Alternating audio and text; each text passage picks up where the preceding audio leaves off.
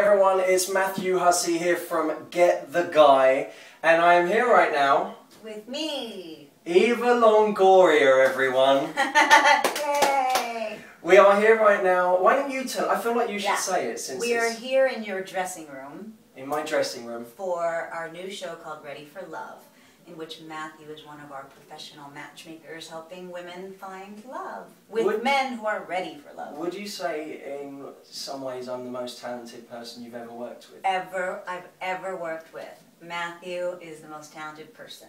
You've heard it right here. you really do. I really sincerely mean that, ladies.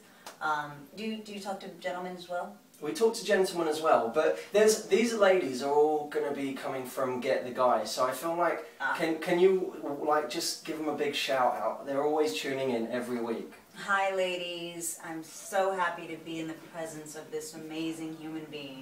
Not only is he charming, he's very smart and has a lot of good things to to say and provides you with a lot of great tools. So, This is the best video I've ever yes, done. you have to listen to everything he says. He's Wait, gonna, can you he's give- helping me next. Can you give them some love advice? I feel like if they can get one tip from Eva Longoria, that's Well, I think the biggest tip about finding love is you have to be ready for love. And I really mean that. Like, if you're really not in the place to even open yourself up to it, Then it's no not amount of tools is gonna gonna help. No amount of advice is gonna help. And that's something that comes a lot, that comes up a lot on the show. Mm-hmm. So I feel like you should tune into the show Yes. to find out all about that, which is coming out in the winter. In the winter on NBC. on NBC. So you heard it here. It's going to be amazing. We're going to have a lot of fun doing it. And what more could you ask than having Eva Longoria heading this project up?